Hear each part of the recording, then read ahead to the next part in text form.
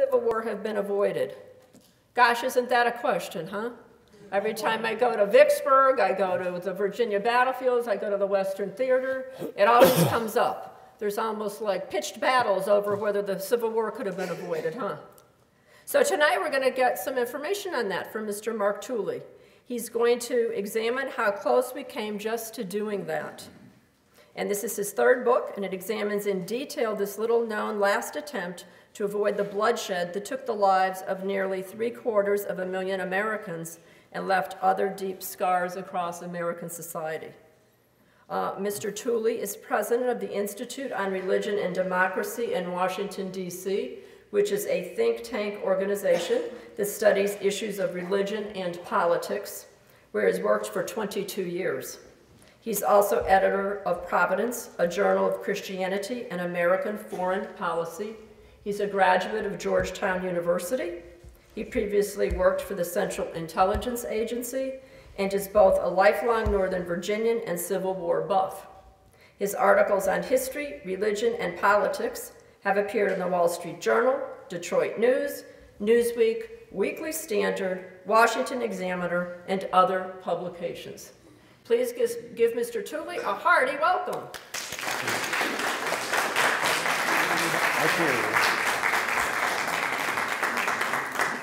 Well, thank you very much. It's a great pleasure to be here. I have enjoyed attending many lectures here at the Lyceum over the years and had not imagined that I would be among your lecturers uh, at one point, uh, but here I am with great pleasure. Well, um, the story, of course, is about the uh, last major attempt to uh, avert the Civil War, and it's a story that uh, even most uh, history buffs uh, don't know about or know uh, very little about. And in a typical history of the Civil War, it gets maybe a few sentences, maybe a few paragraphs. I think James McPherson's um, definitive one volume history of the Civil War has maybe a page and a half about it. the last book about the Washington Peace Conference had been written in the late 1950s, and it's very inaccessible and kind of hard to find. And uh, the scholarship of it is uh, still very good, and almost all uh, subsequent books uh, reference it as their primary source. But it's, unless you're really into the topic, it's a little bit dry. Uh, and so when I happened to meet a, a publisher a few years ago, uh, he said, well, why don't you give me some ideas for a book?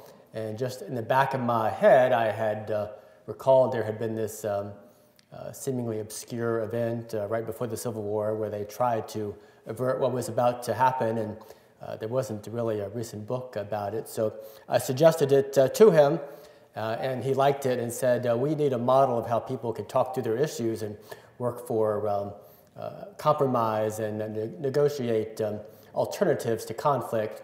Well, in fact, if you know the rest of the story, this is not a very good model of how to avoid conflict. Uh, there's not a happy ending, but at least there was the attempt to avoid the bloodshed um, that was to come. And of course, being a native of Washington, as many of you have over the years frequently walked by the Willard Hotel on the Pennsylvania Avenue side and seen uh, the large uh, sign at the front of the hotel uh, signifying that is the location of the Washington Peace Conference. And typically that's uh, all you, uh, you, you, hear about the conference, the fact that it took place and that it was um, ultimately um, unsuccessful. But in fact, it turned out as I delved into the research to be a really a fascinating and a fun topic.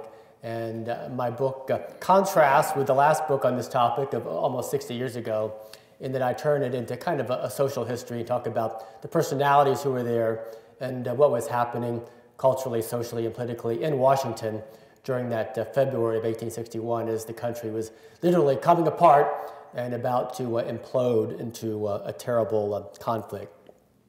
But the Washington Peace Conference involved, uh, at least theoretically on paper, 131 uh, delegates uh, from uh, most of the remaining states. In fact, 21 of the states participated. the West Coast didn't have time to get their people there, obviously. the upper Midwest, Minnesota, Wisconsin, and Michigan were um, at that time very, very Republican and suspicious of the peace conference motivations uh, many Republicans thought this was a Southern and Democratic plot to nullify or to work around the election of Abraham Lincoln. And so they were not there. And then obviously, those states of the South who had already seceded uh, were not there, about a half dozen uh, at that point. Uh, and so the peace conference involved uh, New England and uh, most of the Midwest and uh, the Upper South and the border states. It came to be called almost from the beginning the Old Gentlemen's Convention because the participants were disproportionately older men who had been in public life many of them for many decades, uh, some of them dating back uh, 50 years or more, almost to the very beginning of the Republic. And so these are men uh, who had uh, worked together and known each other and been friends or enemies or frenemies uh, across the decades. And uh, one way or the other were dedicated to trying to preserve the Republic. the research was enjoyable because much of it could be done just sifting through the newspapers of the day, which reported extensively on what was happening. Uh, including uh, the, uh, the Alexandria Gazette, of course, um, still our newspaper of um, our hometown here, which almost every day had some coverage of what was happening across the river at the Washington Peace Conference. The idea for the conference, and many people uh, don't realize this, uh, came from uh, Virginia, and specifically from what was, who was then Virginia's um, senior and most respected leader, there in early 1861, and that was former President uh, John Tyler, uh, who had been in retirement from, for some uh, 16 years at that point and uh, was uh, 71 years old and uh, living on his beautiful plantation near the James River, Sherwood Forest, and had literally, was literally a son of the founders in that his father had been governor of Virginia back in the 1700s, had been friends with Patrick Henry, and uh, presumably George Washington and other notables who helped to found our country. And so, and uh, Tyler himself was old enough to have known as a young man uh, James Madison and uh, Thomas Jefferson, and uh, almost certainly would have met George Washington, at least as a boy, little boy. And so he felt a great sense of duty and obligation to uh, step forward and to try to save the country that he had served and his father had served. And so he wrote a letter to uh, a Richmond newspaper uh, suggesting that uh, the country now being in crisis since Abraham Lincoln's election in November, and the Deep South has now seceded. Texas is on the verge of seceding. Virginia has called a convention uh, to uh, discuss the topic of uh, secession. And President Tyler suggests that before we move any further, that there be a, a final get together uh, to try to adjudicate uh, the issues uh, before the nation.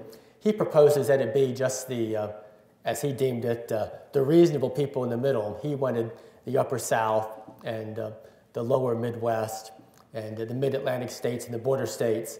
He wanted the, the deep South not there, not that there was any chance they would come. And he didn't want the, the New England firebrand Republican states to be there, the abolitionist states.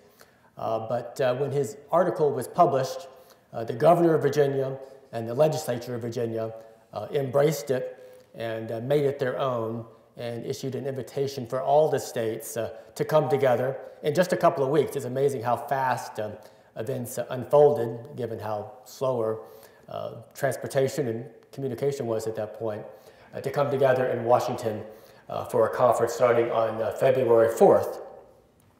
And so um, the states uh, sent their delegates, and they arrived on uh, the morning of uh, that uh, Monday morning, I believe it was, um, a snowy, chilly uh, Washington slushy winter day. And they met at the old Willard Hotel, which was replaced by the current hotel in the 1880s. And specifically, they met on the um, F Street side uh, on the back of the Willard Hotel in what had been, until just literally the year before, uh, an old Presbyterian church that looked uh, sort of like the Lyceum, kind of a, a, Greek columned look. And the hotel just purchased it for use as a conference and concert space. And so that's where the delegates streamed in uh, late that morning. The uh, personalities involved, whom I describe at length, depending on how colorful and interesting they were, uh, but the major personalities were, of course, um, John Tyler uh, himself and his young wife, Julia, who's kind of a, a prominent character in my book, in that she came to the peace conference, not attending the sessions, but she did come to town and reported about it in letters to her mother um, in New York. And uh, she had been, as First Lady, sort of the Jackie Kennedy of her day.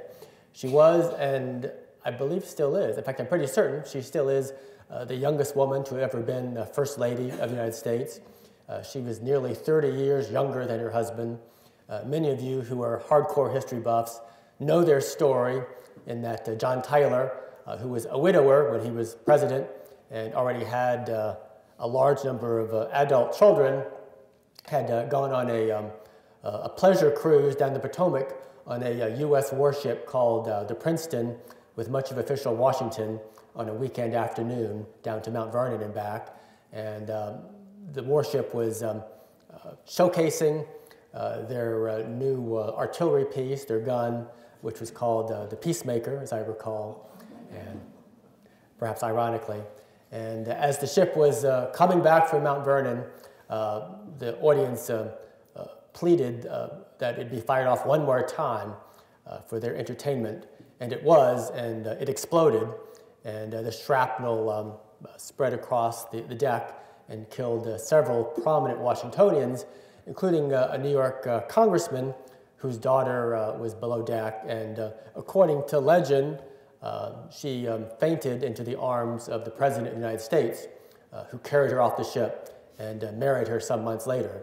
Uh, so that was uh, Julia Gardiner uh, Tyler. she loved being First Lady. she was known for her wardrobe. She had, as a young woman, sort of been forced to leave New York because she had scandalized society for posing in a newspaper ad for a women's clothing store, which proper young women were not supposed to do.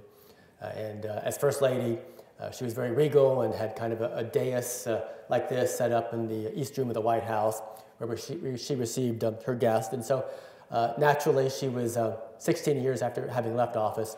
She was very anxious to come back to Washington and to relive her glory days. Uh, so those are the Tylers.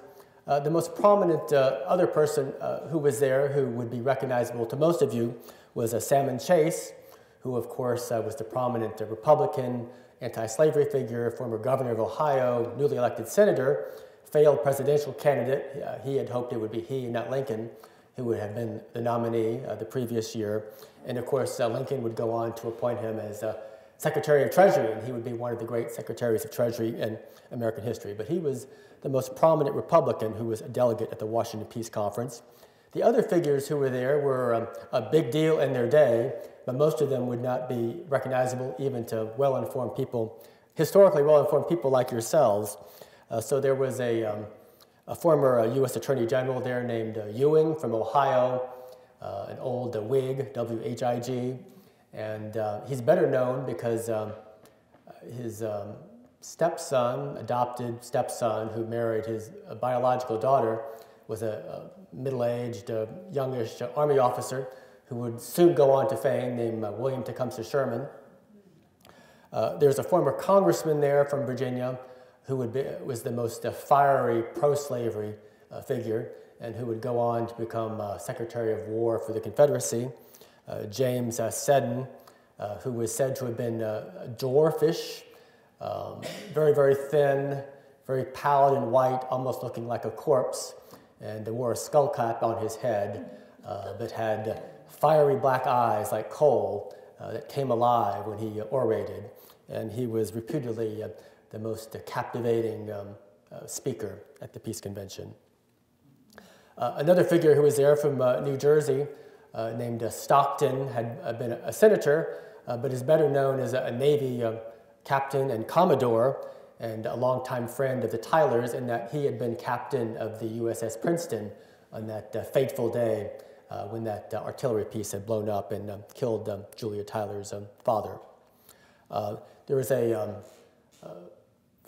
former senator from uh, Connecticut uh, there named Roger Sherman Baldwin. You may recognize uh, the first two names of his three-name uh, name. Uh, in that Roger Sherman, his grandfather, of course, was one of the founding fathers, uh, one of the few who participated in both the Declaration of Independence and the Constitution.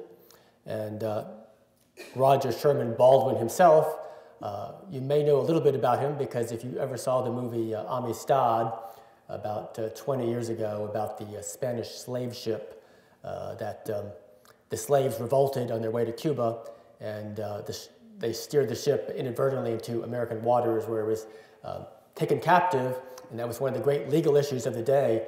are these um, persons from Africa now slave or are they now free? And um, that went to the US Supreme Court uh, about uh, 20 years before the Civil War. And uh, in the movie, uh, the legal defense uh, for the slaves in question was the senior counsel was John Quincy Adams, the former president, played by um, the great English actor um, Anthony Hopkins. And the junior counsel is Roger Sherman Baldwin is Matthew McConaughey. So um, when my book is turned into a movie, I'm hoping he can come back and uh, he can be Roger Sherman Baldwin one more time. Uh, there's a young um, Republican um, uh, politician uh, from uh, New England at the conference, and the, the younger men tended to be the Republicans, and the older men tended to be the older, more established parties. Uh, but this young man is named Chittenden, and he's important to our story because um, we wouldn't know this story very well were it not for he, and that the delegates voted early on not to keep any um, official public journal and uh, barred reporters and observers uh, from their sessions at the Willard Hotel. And so uh, Chittenden took it upon himself um, to uh, keep his own uh, extensive journal. And uh, he, like many others at the time, thought this was going to be, going to be a very momentous gathering perhaps on par historically with the Constitutional Convention of 1787. So he compared himself to James Madison, who, of course, was the famous journal keeper uh, of the Constitutional Convention, and thought he would go down in history as the man who kept record of this event. Of course, very few people know who he is today, but fortunately, he did keep an extensive journal, uh, and he announced what he was doing to the other delegates, uh, uh to which there were a number of protests. They did not want to be uh, on record. Uh, but John Tyler, who was very quickly elected uh, the president of the convention, the presiding officer, was very regal and dignified and proper in how he conducted himself. And he announced that, of course, there was no control over what any of the individual delegates would do. And naturally, this young man had the ability to take notes um, if he so chose. A few other people who were there, Henry Clay's uh, son, who was a congressman from Kentucky, was there. Of course, Henry Clay had died uh, some years earlier. Unfortunately, he was known as the great uh, master compromiser. Who knows what he could have accomplished had he been there himself. Uh, there's a former Virginia senator there uh, named, uh, again, a largely forgotten figure, William Cabell Rives from the Charlottesville area, perhaps the most aristocratic person in the room. He had been a senator uh, he had been ambassador to a number of uh, European um, capitals, and uh, it's uh, perhaps to understand uh, exactly who he was. Uh, his um, daughter once recalled that her parents had very high standards who could be godparents to their children. She said, for example, um, her one brother has had as his godfather um, Robert E. Lee, and her other brother had as, as his godfather the Marquis de Lafayette and uh, her godmother was the Queen of France. So that was the, the kind of company that um, the Rives family uh, ran with. Well, since we're in Virginia, I'll just mention who the other Virginia delegates were. Uh, obscure people now, but uh, there was a lawyer from Lexington named John Brockenbrough, who's uh, notable in that it would be he, after the Civil War, who would invite um, uh, Robert E. Lee to come become president of Washington College, soon to be Washington Lee University. Uh, there was a congressman from uh, what would later become West Virginia named uh, George Summers, and um, he would uniquely uh, choose uh, against the Confederacy and go with West Virginia in its secession from Virginia. and um, so that was, that was the Virginia delegation. Some of the other personalities who were in the story, even though they're not delegates, but are still intricately involved. there's President James Buchanan himself, the outgoing lame duck president, uh, one of America's most uh, qualified presidents and considered one of its greatest failures uh, in that uh, he had been governor, senator, congressman, uh, successful lawyer, uh, ambassador, had excelled at everything he had done except for the presidency. but he desperately wanted the, the peace convention to uh, work. He and John Tyler had been sort of uh, frenemies over the decades, uh, and uh, but they their, the friendship part of their frenemy uh, relationship goes into active mode for the few weeks of the peace of the peace conference. there's his um, his first lady, his niece, being a bachelor, Harriet Lane a young woman, uh, very stylish, smart, who sort of kept Washington together socially almost till the end, even as it was falling apart uh, politically. Uh, there's uh, old General Winfield Scott, uh, the longtime commander of the Army, uh, now aged and obese, and not very mobile, but still mentally sharp. And he, as the crisis has unfolded, he has just moved the headquarters of the Army from New York City down to Washington, D.C., specifically to um, uh, row house on 17th uh, Street next to the, the Winder building. And he sort of, uh, in this uh, power vacuum, uh, takes charge of security for the nation's capital in preparation for Lincoln's inauguration and for other events to come. there's Stephen Douglas, of course, the defeated Democratic presidential um, candidate, um, who's in town. there's William Seward, who is uh, the senator from uh, New York, who was um, in, not a delegate, but in town and sort of uh, operating politically, keeping Lincoln involved. There's the outgoing uh, Vice President uh, John Breckinridge, who had himself run for president in 1860, uh, had been defeated from Kentucky, and ironically would reappear in Washington three and a half years later as a Confederate general, attacking the city with Jubal Early in the summer of 1864. So uh, there are justifiably some suspicions about where his loyalties are at this point as a vice president. Uh, there's a uh, Massachusetts Congressman, Charles Francis Adams, uh, soon to be a U.S. Minister to England, uh, better known as the, uh, the grandson of John Adams and the son of John Quincy Adams, who would be a voice for Massachusetts participating in the peace conference. others did not want to participate, but his views prevailed. Uh, there's Daniel Sickles, a New York congressman, uh, pro union uh, Democrat, whom many of you know from his various scandals. You certainly know him as the general at Gettysburg who lost his leg, and his leg was. Um, was and is on display at the U.S. Army Medical Museum. I've yet to go see it. Uh, I think it's over in Maryland now. And he would visit his own leg for many decades. But uh, before he became a general, he was uh, notorious for his scandals, uh, one of the biggest of which had just been uh, two years before the peace conference uh, when he shot his wife's lover dead in Lafayette Square uh, in broad daylight. And um, his wife's lover was uh, Francis Scott Key's son, the um, federal prosecutor of Washington, D.C. So obviously that was the big story of its day. And Sickles was acquitted based on a plea of temporary insanity supposedly the first time that was used successfully in uh, U.S. judicial history. And uh, his lawyer, very successful, was Edwin Stanton, uh, who would be uh, Attorney General of the United States during the peace conference, and of course better known as, the, as Lincoln's war secretary for much of the Civil War. So all these personalities keep coming together across um, the years. And then finally, someone I focus on in my book is Phineas Gurley, who is the pastor of uh, New York Avenue Presbyterian Church, just two blocks away. Uh, but he had been the pastor of the Presbyterian Church that the Willard, that the Willard Hotel had purchased to turn into conference space, and uh, would go on to be uh, best known as uh, Abraham Lincoln's uh, pastor during the Civil War. But he would come back to open the conference for prayer several times, as would many of the other prominent clergy um, of Washington, D.C. Well, besides the peace conference itself, there are several uh, exciting dramas going on in Washington that interrelate with the peace conference at the same time that I uh, discuss um, in my book. First of all, there's um, uh, President Buchanan and how he's handling uh, his departing uh, administration. And um, he had had, he and his first lady would have a, a monthly um, levee, they called it, a reception for official Washington throughout their administration. So they have the last one uh, after the peace conference has begun, which is somewhat uh, awkward because many of his allies have, uh, Democratic allies, have since quit to go with the departed states of the Confederacy.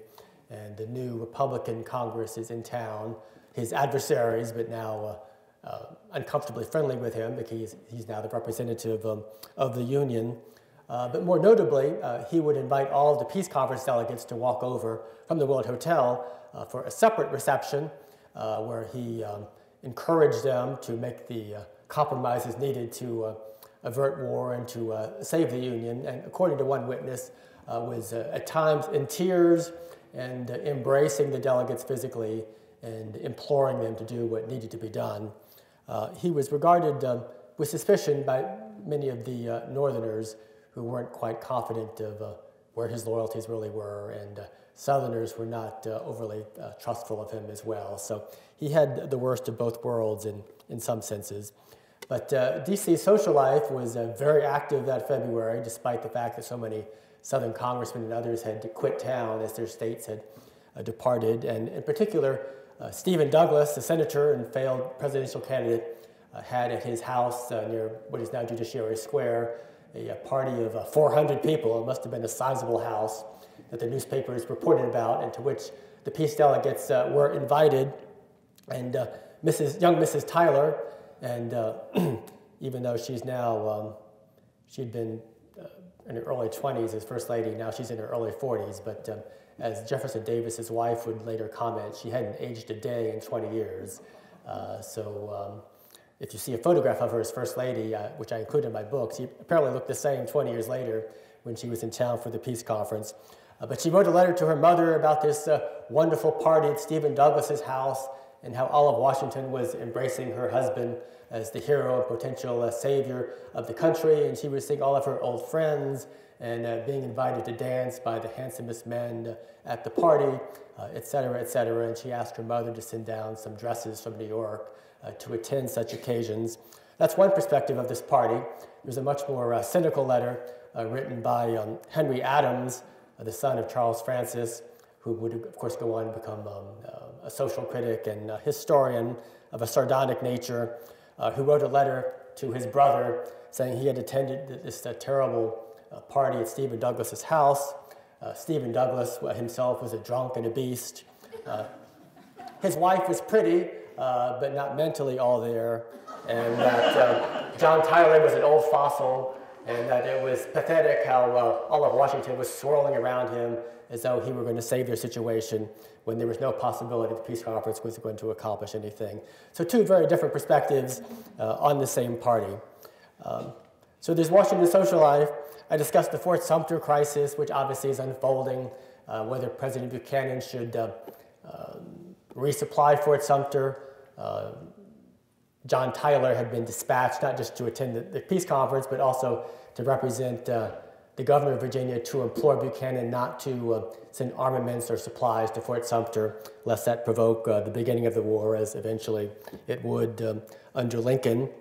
Uh, and then also, uh, the Confederate government itself literally launches the same day the peace conference begins on that February 4th, and uh, who pulls up uh, the new flag of the Confederacy over the State House in Montgomery, Alabama, but uh, John Tyler's um, granddaughter. So, uh, seemingly working at uh, cross purposes, uh, at least at this point.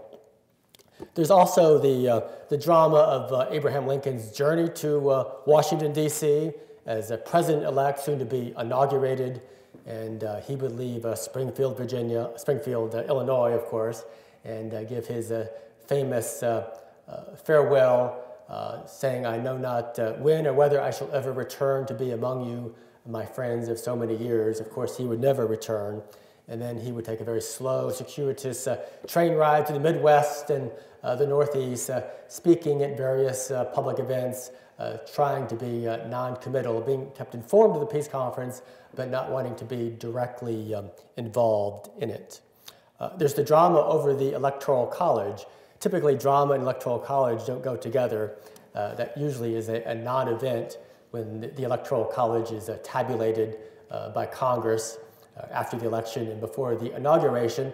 But given uh, this dicey uh, national crisis, Washington is um, rampant with rumors that the electoral college vote could be politically disrupted. It could be even physically disrupted. There could be violence in the Capitol itself.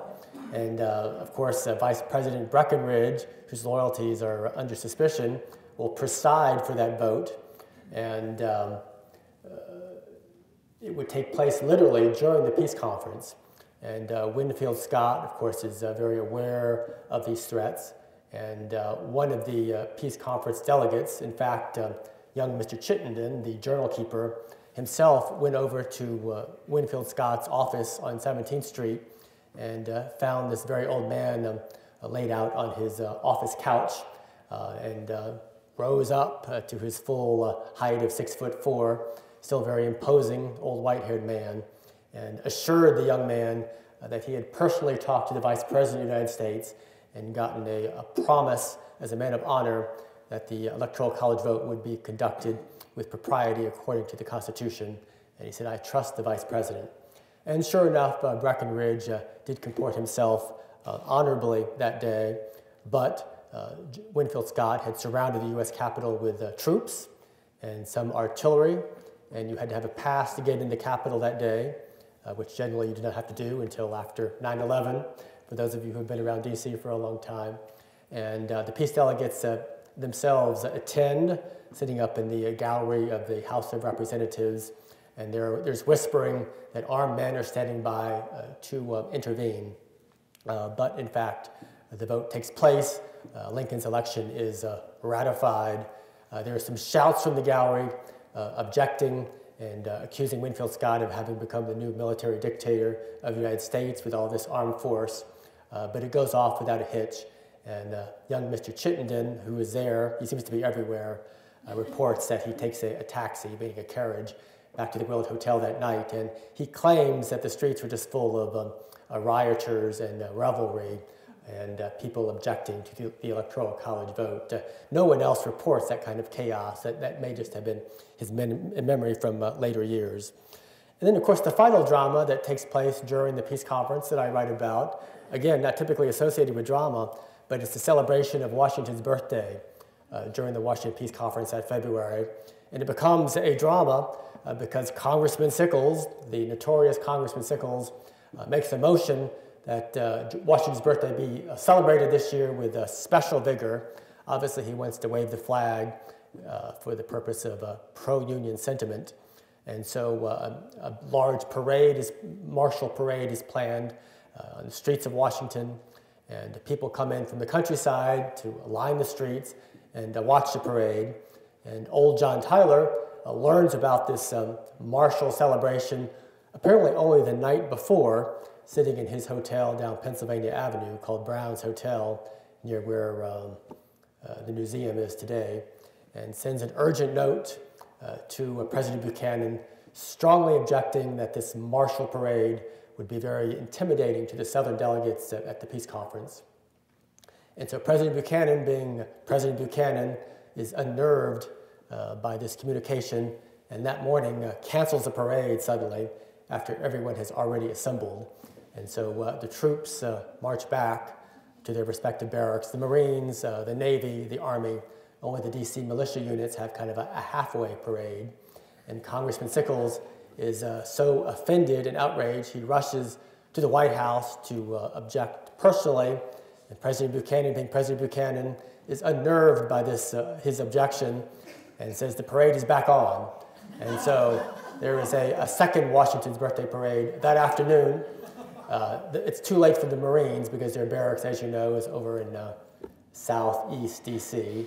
Uh, but the Army is there and the Navy is there, and they march um, literally outside the Willard Hotel uh, by the north side of the White House down 17th Street, and then uh, in front of the, the south side of the White House with President Buchanan and presumably his cabinet and General Scott and others reviewing. So all of this, of course, is mocked and reported in the nation's newspapers uh, the, next day, the next day, understandably. Well, in terms of what's going on in the peace conference um, itself, um, I'll spare you the intricate uh, details of their discussions, but basically it breaks down along several lines.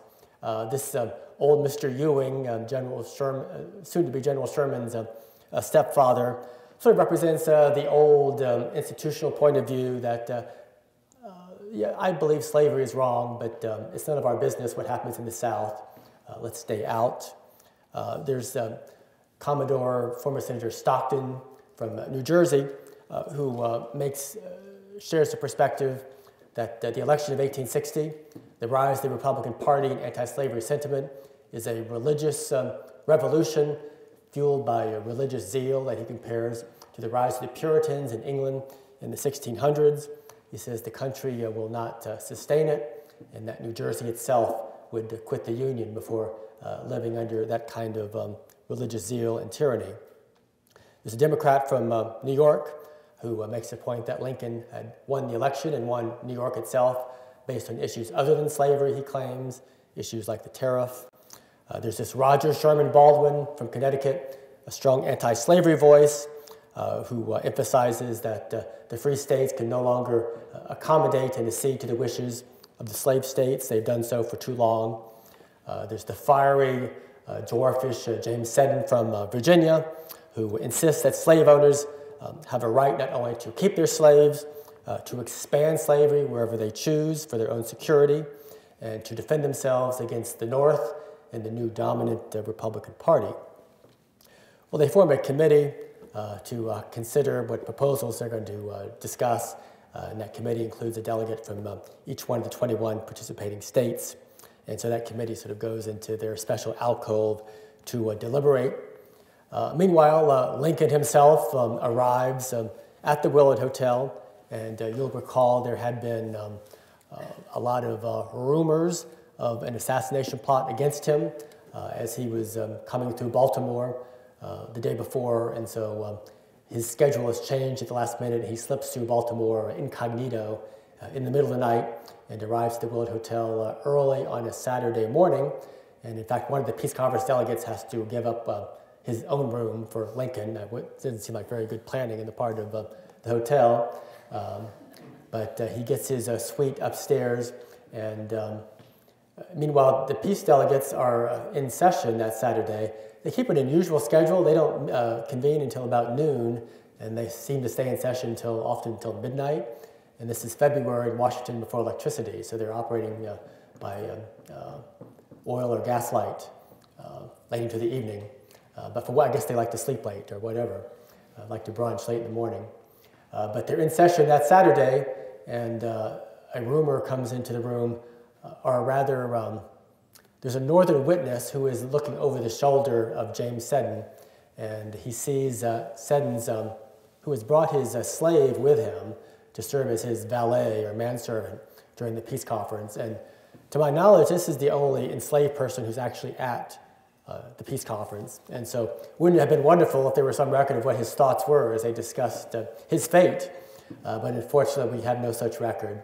But uh, that slave was described by witnesses uh, being among the, one of the most distinguished looking people in the room. Apparently, he was a, a very well dressed person, a man. Uh, but he comes in and hands um, uh, his master, James Seddon, a note, which Seddon opens up. And um, the northern witness is looking over his shoulder, and the note says, uh, Lincoln has arrived in the hotel. And Seddon uh, silently passes that note to another Southern delegate uh, sitting at his side, who supposedly exclaimed, Lincoln got through Baltimore. And so the implication was maybe he had some inside information about the plots against Lincoln, but it's likelier that everyone knew uh, Baltimore, which, whose nickname was Mobtown, was a place uh, notorious for political violence. And uh, there's, always some question uh, how they were going to react to uh, Abraham Lincoln's transit uh, through it. Anyway, shortly afterwards, the peace conference receives an, an invitation from Lincoln himself that he would like to receive them at 9 o'clock that night, again, these late night hours. And uh, a few of the delegates uh, object, thinking it's presumptuous that he would invite them up to his suite upstairs. Why doesn't he come downstairs? Uh, but again, John Tyler, being the model of decorum, uh, says, of course, we will go to greet uh, the president elect at 9 o'clock tonight, uh, which they do. And they're described by one witness as proceeding up like animals into the ark, um, two by two uh, in a, a, careful parade. Uh, others describe it as sort of like an amoeba, just kind of a mob of men uh, proceeding up in an unorganized fashion. Uh, but Salmon Chase, as the senior Republican, introduces each delegate uh, to Lincoln one by one. And uh, Lincoln shows he has this incredible political memory. He knew about a dozen of delegates from um, his one term in Congress in the 1840s. He had served with them. The others, very few of them he had personally met, but he his political knowledge is such he's able to re, recite uh, some biographic information with each one. He tries to uh, joke with them, and uh, that sometimes goes well, and that sometimes uh, does not. But um, for example, um, the very distinguished and dignified uh, Senator Rives uh, from Virginia would write a letter to his son afterwards uh, that Lincoln had seemed very well intentioned and um, obviously means well, uh, but likes to tell jokes and uh, stories, and clearly had no idea of the, the seriousness of this situation, uh, which um, showed that, said, that um, Rives didn't know Lincoln very well. Lincoln obviously knew how serious the situation was, but that was just part of his political skill that he would tell stories and jokes to charm people and put them at his ease. And uh, when he met uh, Rives, uh, he exclaimed, "Oh, you're a much uh, smaller, you're a much smaller man than I had pictured you, but uh, no doubt very great in intellect." And uh, Rives responded, "Well, not as great as yours, Mr. Lincoln." but apparently, Lincoln liked to um, frequently, when he met other men, he would like to um, have them line up with him back to back so he could compare his great height to theirs and then make a joke how he was a foot taller or whatever, as he would have been with someone like uh, Senator Rives. So if you were folksy, you enjoyed that encounter. If you were not folksy, you probably found that a little bit uh, irritating. Uh, but by and large, uh, the meeting is initially uh, cordial, uh, but quickly the cordialities and pleasantries um, recede in place of more serious and confrontational conversation with southern and border state um, peace delegates confronting him on what he wants. Uh, if he uh, doesn't uh, support what they want, what is he looking to do? And at first, um, he's vague, but as he gets his dander up, he tells them, well, the only path forward is fidelity to the Constitution, and that's what I will be sworn to uphold as your president. so as he proceeds in that line of conversation, uh, some of his uh, opposition um, is a little taken aback because they had been led to believe that he was a rather uh, simple, rustic, inexperienced man from the West. And it turns out he's a little bit more formidable than they had anticipated. And in fact, the Senator Rives uh, supposedly remarked uh, that um, he may not be as strong as a um, Andrew Jackson or George Washington, but clearly he has his own mind and will be his own man uh, in the White House. So there was some appreciation that perhaps he had been um, underestimated. Well, the next morning, I reported in my book, um, William Seward uh, walked down to the Willard Hotel and escorted Lincoln up to uh, St. John's Episcopal Church at Lafayette Square, uh, where nobody recognizes Lincoln. Remember, he had been clean shaven, so all of his uh, campaign portraits uh, had a clean shaven man, but now he has a beard. so he goes into St. John's Church um, unrecognized, sits in the back with Seward, and it's only um, at the end of the service when they meet uh, the, the pastor, Reverend uh, Pyne, uh, that he's introduced and uh, people begin to talk, oh, that's Lincoln. And then, um, in fact, uh, it's reported in the next day by the Evening Star, for those of you who are old enough to remember the old Washington Star, it was around back then, and it said that people were taken aback by Lincoln's appearance, and one woman reported that uh, he was much more handsome than she had been led to believe. Uh, Seward takes Lincoln across the square to his own house at Lafayette Square for a Sunday lunch or brunch, and um, of course, that's the same house where uh, four years later, uh, Seward himself would be nearly um, uh, slashed to death on the night of Lincoln's assassination. but who knew what was going to happen at that point? Uh, the next day, the peace delegates uh, reconvene, and finally, they're, they're, getting down to business.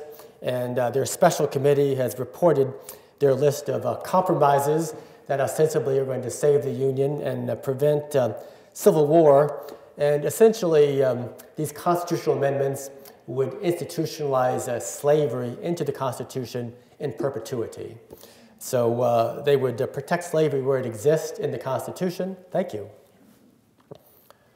They would allow slavery to expand into uh, the southwest uh, territory, so what's now Arizona, New Mexico, below the old Missouri Compromise line of 1820. Uh, they would uh, allow D.C., they would allow slavery to be abolished in D.C., but only with permission from Maryland and Virginia as their neighbors. Uh, they would uh, constitutionally ban the overseas, overseas slave trade, which is already banned in legislation but not by the Constitution. They would mandate more intense enforcement of um, fugitive slave laws, forcing free states to return escaped, state, uh, slaves. They would require the federal government to reimburse slave owners for their escaped slaves if they're not returned. That would have been a major uh, new direction. Uh, they, it would have required the North and South to agree on any new states, uh, so there would be this constant balance between free states and slave states. And then finally, all of these amendments uh, could only be revoked or amended uh, by unanimous consent of all the states, which would be virtually impossible. So, as I say, it would enshrine and institutionalize slavery in, um, virtually in perpetuity. It's assumed, uh, because uh, that the fix was already in, the committee had agreed on this, representing all the states. It was just a, uh, formality uh, to go through the vote. And so when they voted on uh, that Tuesday on these proposals, and they voted by state delegation, not by individual, uh, they go through the various proposals and they're passing, uh, but there's not a consensus. They're passing with seven or eight states voting against all of them. The whole point of this conference had been consensus. And then finally, when they get to the part about allowing slavery to expand to the Southwest, and remember, Lincoln was elected in the platform of 1860, no expansion of slavery. We don't, uh, we don't dispute that the federal government has the power to touch slavery where it already exists, uh, but we will not countenance the spread of slavery into um, Western territory. And so this is a direct challenge to the Republican platform of 1860. When they get to that one, uh, that fails by a couple of votes. And there's literally a hush and then uh, the, the, convention breaks into kind of an uproar. Everyone is shocked. Everything has collapsed all of a sudden. No one had been expecting this, seemingly. And so John Tyler gavels them immediately into um, adjournment. And you can imagine the Willard Hotel uh, that night, uh, ablaze and um, gas lighting and just a, a, buzz, a beehive of activity and uh, lobbying with attempts to um, uh, uh, pressure and persuade and cajole a couple of states to shift back into favoring uh, these proposals. A Lincoln with meeting and some of the delegates may have taken place that night. It may have taken place the following night. It's unclear. The evidence is not completely clear, uh, but um, it's surmised, and it may be possible uh, that Lincoln could have influenced the Illinois delegation to uh, shift and to vote for the proposals. And in fact, one of his allies uh, does shift and the next day, when they do the vote, this time they pass. And he's right, he later would write a, a, note to Lincoln saying, I guess my political career is over. It wasn't. Uh, he would go on for many years. And the question is, did Lincoln facilitate the passage of these proposals?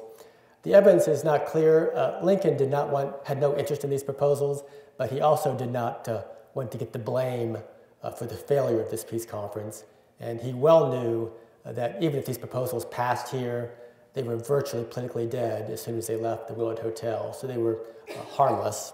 So possibly he did give the green light, but we don't know for sure. And so uh, they have completed their work. Uh, John Tyler uh, thanks all the delegates uh, for their services.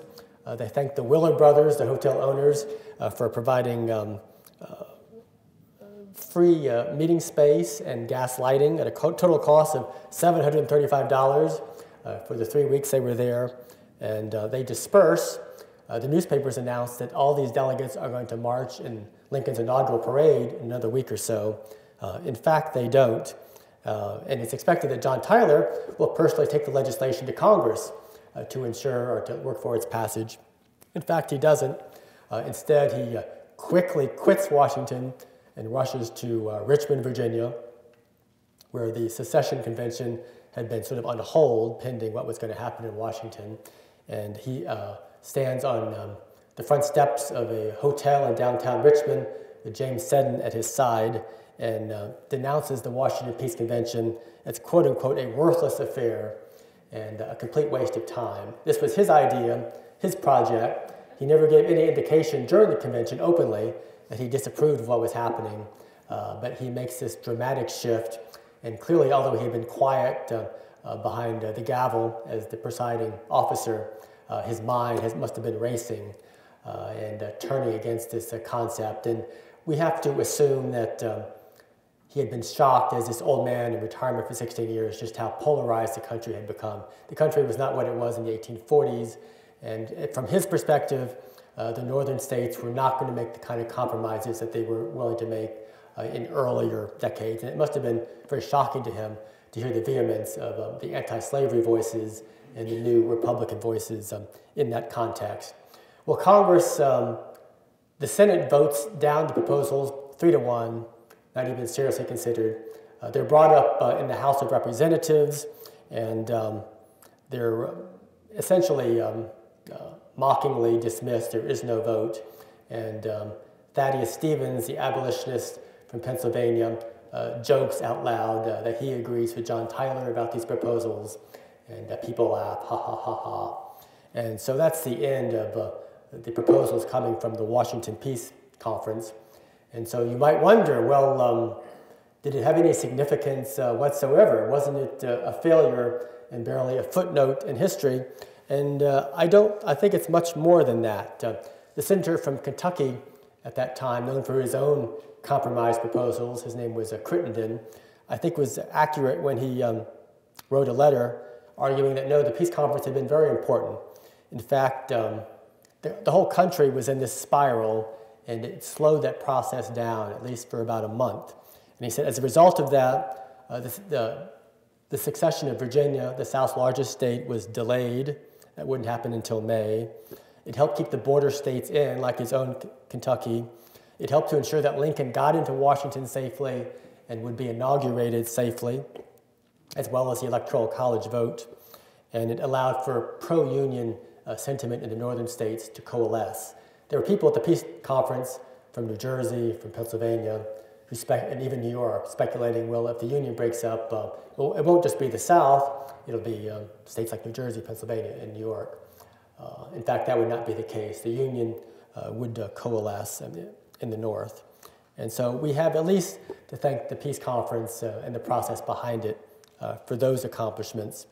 As a postscript, I discussed what happened to the Tylers um, after the peace conference. It sort of symbolizes what happened to the old uh, uh, plantation South uh, very quickly uh, once the war uh, began.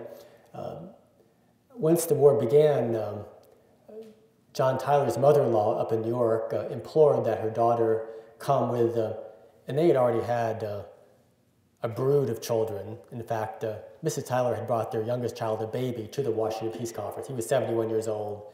She was, uh, I believe, 41. And uh, they had uh, seven or eight children. And the mother in law pleaded, Come to New York for your own safety. And John Tyler writes his mother in law, Ha ha ha. If you could see the fortifications we have in Virginia, you would know we're safer here in the James River than you are on Staten Island. Well, um, within a year, uh, Union forces uh, will have overrun uh, Sherwood Forest. the slaves would have um, been freed, run off.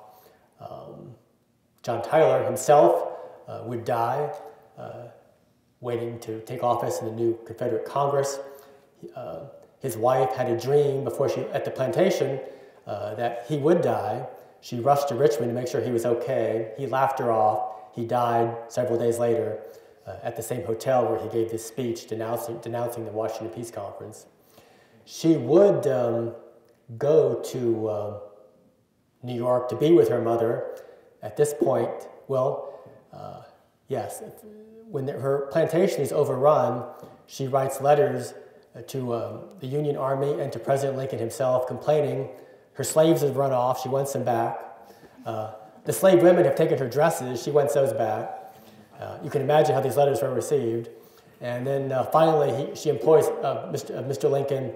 Imagine if your wife, as First Lady, uh, were left uh, alone in the world as a widow, as I am now. Of course, ironically, she would be in less than four years.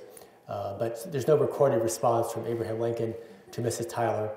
she would escape by a blockade runner and took uh, some bales of cotton with her, which she sold at great profit in, uh, I believe, Bermuda, and went to New York and uh, would spend uh, the rest of the war uh, with her mother and with her very pro-Union, pro-Lincoln brother for a very tense domestic situation at their house on Staten Island, which is still there today. And when Lincoln was assassinated, there were rumors in New York that uh, there was a Confederate flag on display in their house, and supposedly several men broke in to grab it, uh, but it was not there. Uh, but Mrs. Tyler was uh, resilient.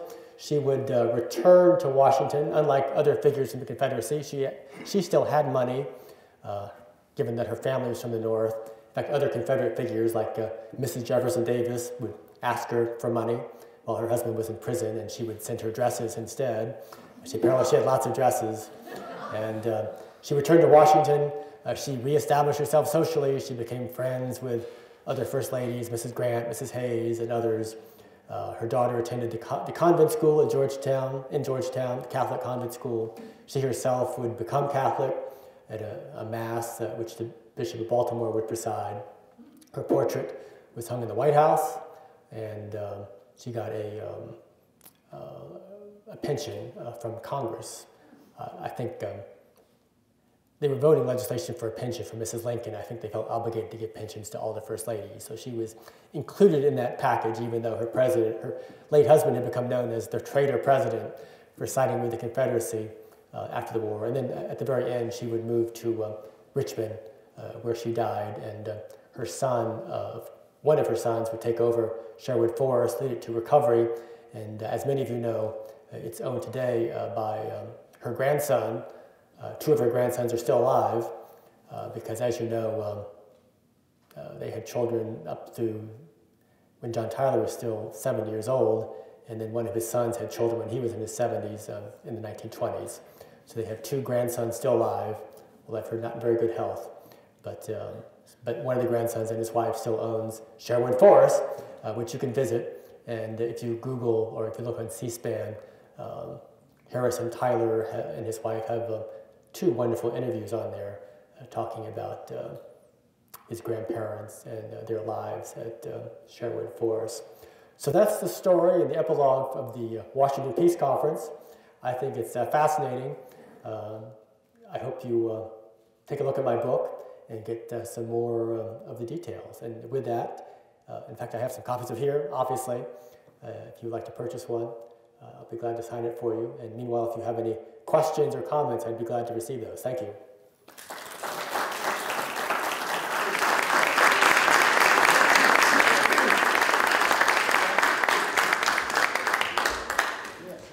Yes, sir.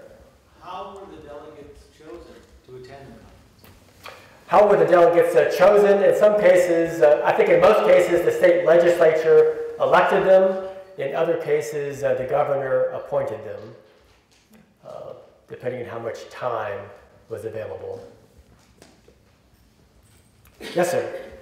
By that time, the uh, Buchanan Secretary of War was a Kentuckian by the name of Joseph Holt. His Attorney General was a man by the man you mentioned earlier, Edwin Stanton. Did either one of those have any role or any participation in the conference?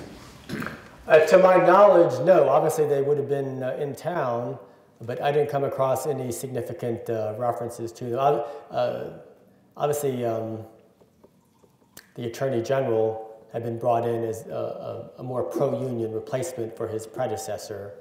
Um, but other than that, I'm not aware of any direct role. Yes, sir. Uh, were the proceedings of the conference open to the public? Were there any newspaper correspondence there? No, as I mentioned, uh, the delegates didn't even want a journal kept. Reporters were barred. There were no observers. Uh, there were two Washington policemen uh, stationed outside Willard Hall uh, to keep anyone from coming in except for the delegates or their servants. Uh, and so, but there were, as I mentioned, there, were, there was lots of newspaper reporting all over the country. And uh, so you have to assume that reporters were in the lobby of the hotel uh, talking to delegates. so some of the information is good, and some of it obviously was just uh, made up or a lot of conjecturing. So, for example, uh, there's one newspaper report saying um, midway through the peace conference is collapsing, John and Julia Tyler are getting ready to uh, leave Washington, and, and um, there's uh, this is amusing. She writes a letter um, to her mother. Oh, I have to leave Washington to get back to be with the children back at Sherwood Forest. And then a few days later, there's a newspaper account saying she'd been spotted uh, dancing at a dance at Brown's Hotel. Uh, she was the belle of the ball. So uh, again, she loved being in Washington and uh, was very reluctant to leave. Yes, sir. The points made for compromise seem to be all in the South's favor, as I remember them. Have I missed something? Was there an honest attempt to also make compromises that the Northerners or Republicans would have wanted? No, your analysis is basically correct. It was all, 90% of it is, uh, as I mentioned, uh, institutionalizing uh, slavery uh, into the Constitution uh, with the hope that uh, that would prevent more slave states like Virginia, North Carolina, Tennessee, Kentucky, Maryland, Missouri, all of which participated in the peace conference, that that would um, incentivize their remaining in the Union and maybe even tempt Alabama, Mississippi, Louisiana, Florida, South Carolina coming back into the Union at some point. But from the, from uh, the only anti-slavery or non-pro-slavery elements of the compromise was um, banning the international slave trade constitutionally, that it was already banned legislatively, and allowing Washington, allow, allowing slavery to be banned in Washington with permission from Virginia and Maryland. Other than that, it was all for the South. uh, advantage. But even that, of course, was not enough. Yes, sir. How do you recognize or reconcile the hypocrisy of those who would say we have to uphold the Constitution and yet not recognize the fact that the Constitution upholds this legality of slavery? Mm-hmm. Everybody agrees to that. Lincoln agreed to it. Everybody suggests, hey, of course, slavery is part of the Constitution. And yet, they flip, flop. Hypocrisy. Well, uh, yes, Lincoln uh, openly said he had no, he claimed no power over the slavery where it already existed. So for him, uh, the great question was, would it be allowed to spread to the West? Uh, that's what he would supposedly not compromise on. Hold the Constitution, and yet violated his oath of office six times in six months. Well, that's another book. I didn't. I don't get into that uh, time frame. There's one vignette I want to share because it relates to this story. Uh, this New Englander keeping the journal reports at one point um, he's watching the Virginia delegates who are in the front row at the same table, and the Virginia delegates are, are forced to listen to an anti-slavery speech by a northern delegate, and uh, he's psychoanalyzing them. But he, he looks on the expressions on their faces, and what he sees is not uh, anger, he sees um, uh, mortification and pain. And his psychoanalysis is uh, these are men who are very distinguished and uh, they style themselves you know, patriots and uh, Christians and great statesmen, and that it generally was uh, painful to have all of that um, questioned uh, by someone who is their political equal in this conference of um, distinguished delegates from around the country, and that um, this would perhaps explain what would eventually happen in that when you consider that if the South had stayed in the Union, um, Lincoln had no power to touch slavery where it existed. Uh, maybe he would have been one term, maybe two terms. Uh, they, the southern states and slavery perhaps could have outlasted him. Uh, but his psychoanalysis is or implies that uh, it was just a, a, mortification and an assault upon their dignity. It was one thing to read about abolitionists in a newspaper far away, but to have some to be confronted by someone as an equal uh, about your supposed moral failure and then to have to potentially live under a national government uh, whose policies imply that uh, you're a moral failure by upholding slavery, that was insufferable to him, insufferable to them. So that's a psychological explanation. Uh, perhaps there's something to it. Yes, sir. Did you run across any evidence of any foreign powers taking an interest in? I didn't, but uh, it's kind of a crazy. Uh, Oh, Russia. Maybe it's yet to come out, but uh, no Russian involvement. Uh, it's kind of a crazy episode where the young New Englander, the young note taker Chittenden, goes to a hotel in Baltimore and learns about a, a conspiracy to uh, subvert the government and the Constitution, where there are some international involvements there, but I think it's just all talk. Lot, lots of uh, lots of talk in Washington in that February of 1861, as there still is, but especially in February of 1861. Yes, sir. Was there not an extensive discussion of secession itself, given the history of the country to that point, New England in particular? having wanted to secede in 1812, effectively doing without doing it, and uh, mid-Atlantic states. and- I mean, I would have thought that would have been a major focus of the conference. I don't know what the. Well, their purpose is to prevent further secession and not so much to denounce secession in principle. But a northern delegate or several want to um, the conference to denounce secession as a principle, and the conference uh, refuses to do that. Was it like a minor point though, as opposed to what you were stating? Uh, it wasn't a major point, but it was discussed, and their whole focus was this compromise package to lure the slave states back in. Yes, sir. With all the luminaries who did attend, um, unfortunately Henry Clay had died, you know, four or five years earlier. Can you think of anybody who might have had an impact and might have been able to accomplish something who did not attend the conference? Um, you know, are there any other great orators or, or diplomatic forces in the country who, for one reason or another, didn't attend? And if they had, it might have made a little bit of a difference. Well, the honest answer is uh, Daniel Webster. So uh, the, the previous great compromises had been uh, organized by people and with people like uh, Henry Clay and Daniel Webster, both of whom died in the 1850s. And so um, the people who are at this conference, uh, the old gentlemen as they were called, are, are essentially uh, the, the generation between the founders and the new uh, rising generation of leadership in the Civil War. But they're the second tier. The first tier has already uh, passed away, the greatest names. So these, these are the second tier. And it's these old men who think uh, they still have that magic to make the compromise work, uh, but they don't have the magic. And plus, of course, the country is so much more polarized than it had been uh, 10, 20, 30 years before. Anybody else? Yes? Can you separate the issues of slavery and states' rights, or are they inseparable? Well, uh, my book isn't offering a commentary. It's just uh, describing what happened in February of 1861. Uh, but in terms of what they discussed, it was um, slavery. But it was wrapped up in states' rights.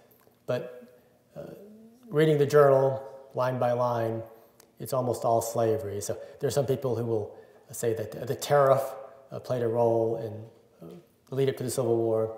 Uh, but a word search of the journal itself, uh, it's only mentioned twice uh, during the conference. So the, the focus is very, uh, it's a very focused conversation.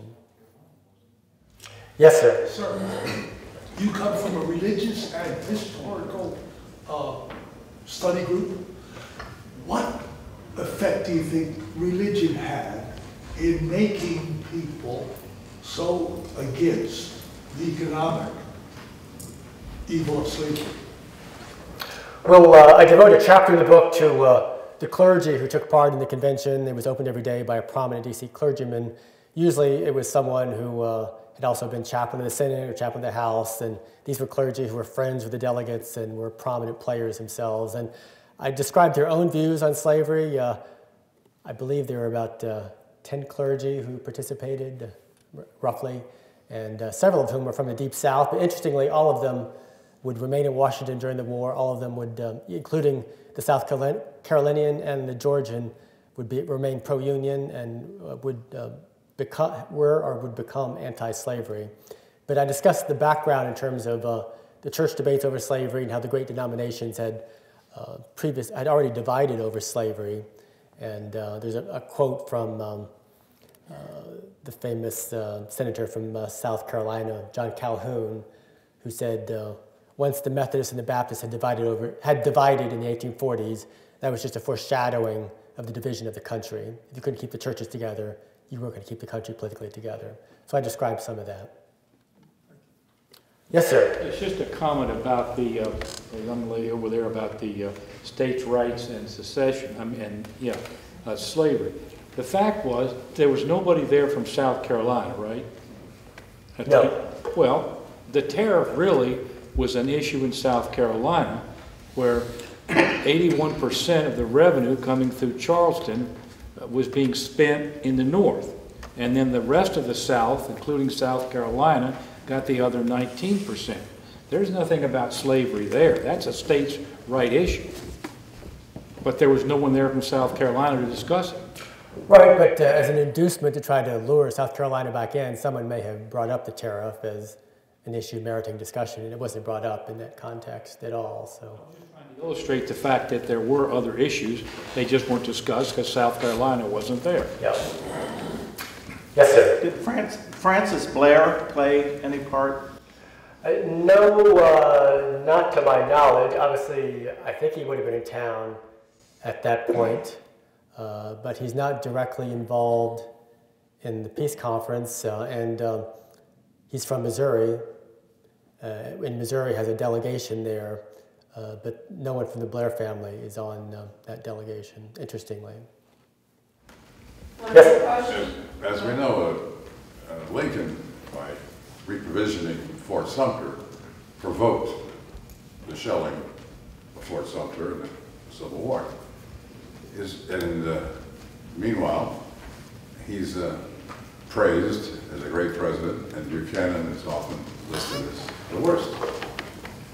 My question to you is, is there anything that Buchanan could have done in that period prior to the inauguration of Lincoln to have averted shelling or Sumter, the- the pre-repositioning and the provo- provocation of the Civil War? I don't know. There is an incident where uh, Buchanan sends something to Sumter, to which John Tyler objects, and uh, Buchanan is a little bit disingenuous in terms of, uh, oh, I didn't really order that. Um, but something is shipped through that he disavows. And you'll have to read the book to get the details. I'm not recalling all the details um, right now. But uh, Still Secretary of War. what's that? Floyd was Secretary of War. and he But when did he leave? Wasn't the Holt? Holt was already in place by at this point. Yeah, But it- the point is that it's been, I'm not sure when Floyd left. He left in December, I believe. and This is in February. you know. So uh, I think uh, the forces in Buchanan's cabinet are now, now much more um, adamant to now about not um, compromising. And Buchanan himself would, uh, I include a postscript about Buchanan, uh, whatever you say about him. He did, uh, he was admired for not criticizing Lincoln during the war and uh, being pro-union. And when um, Lee invaded Pennsylvania, he was urged to leave his Lancaster home, which he declined to do, uh, even though there had been many, threats against him and against his life. He had been friends with uh, John Tyler, and uh, John Tyler's son had been one of his campaign managers in 1856. Uh, and uh, Buchanan offered to send him, uh, I believe, $1,000 after the war because he knew they were desti- uh, near destitution, and which the son declined to do. So uh, even Bu- uh, Buchanan had his um, his good parts, I suppose. We shouldn't just dismiss him um, as a man.